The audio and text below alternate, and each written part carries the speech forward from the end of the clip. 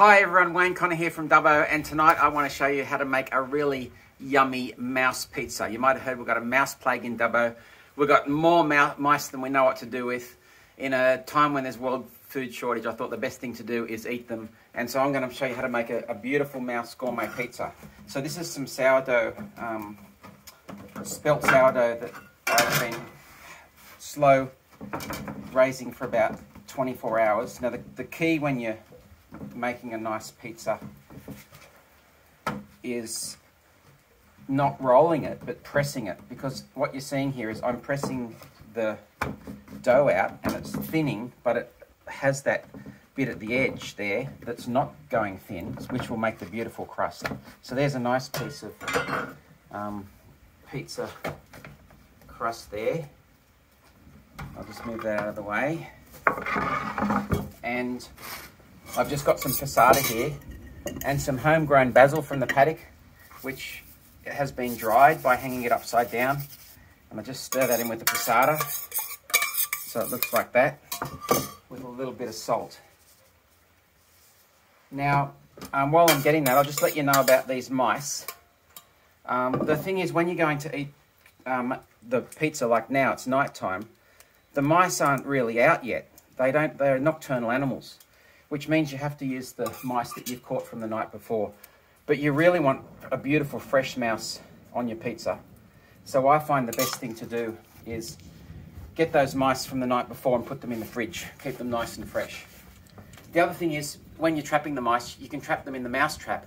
It just crushes all their bones. It doesn't look as nice on the pizza. So I recommend one of those um, multi-traps because it keeps the mouse, the mice in really good condition and it'll let you have one of the best pizzas. So um, I like to put the, the mouse on the bottom because we want to decorate him up to look pretty. So here's last night's mice. We had a big catch last night and here's a few I've just been keeping in the fridge. So probably I reckon about four is nice to have on a pizza. There's one, there's two,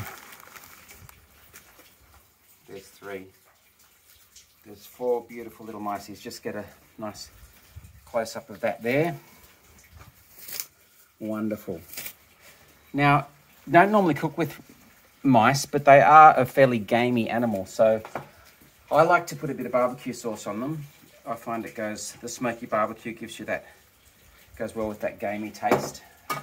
Bit of onion, not too much. You want to, you want the mouse to be the hero here, not the vegetables. A bit of um, capsicum and I like a mild cheese, so I've actually got just a cherry bocconcini here. I'll put a bit of that on each mouse and then a bit on the pizza.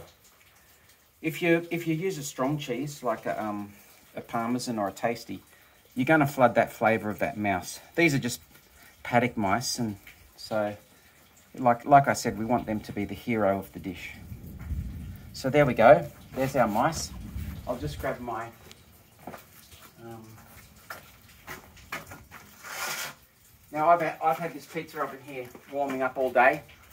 Uh, started the fire about 8 o'clock this morning, so it's nice and hot. And I'll just shove that little mousey in the oven. He's not going to take long at all. So probably, probably one or two minutes will give that mouse time to cook. And this is a one take. Okay, so we're not going to cut this and come back to it and you think that I've eaten a fake pizza. Um, I want to show you I'm really eating the true blue mouse pizza here. Um, because, uh, but I'll take the time to give you a few health warnings. The mice might have warfarin in them because if you're using the Ratsak, um, that's main ingredient is, in, is warfarin, which is a blood thinner. So if you are yourself on blood thinners and you're going to be eating the mice that have been eating the Ratsak, I can't urge you strong enough to talk to your doctor before you go off your own blood blood thinners. You might be thinking, well, if I'm having a diet of mice now, I might be able to go off my blood thinners. Um, but no, talk to your doctor first. Don't change any of your medication without talking to your doctor. And also, I'd probably recommend um, if you are baiting your mice, you talk to your doctor about the health effects of the, the Ratsak. Perhaps if you're a bit worried about that, go with some go Ratsak free in your house for a couple of weeks uh, before you go eating the mice. So I'm just killing time here basically while this beautiful mouse pizza um, cooks here, and then we'll have a, a taste of these beauties. Okay, so oh, that's probably long enough. It's the the pit that she's been pretty hot. Um, oh yeah, they look they look good. The fur's gone a little bit singed, but that's okay. Flattened out a bit in the cooking. Anyway, there's the four mice there. I'll just cut. Whoops! I better take that off the. You don't want to cut it on your good pizza tray, so Take that off the tray.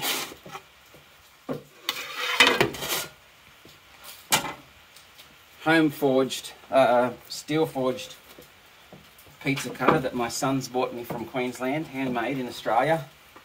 Love it. Oh, make sure I apply plenty of pressure to those mices. Back on the tray. There we have it. Mice pizza that's what I call paddock to plate. Now,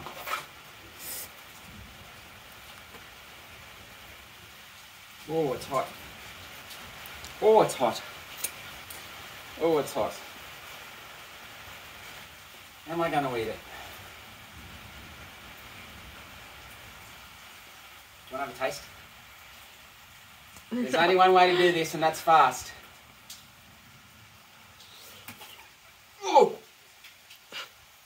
Mmm. That's what I call paddock to plate. See you later.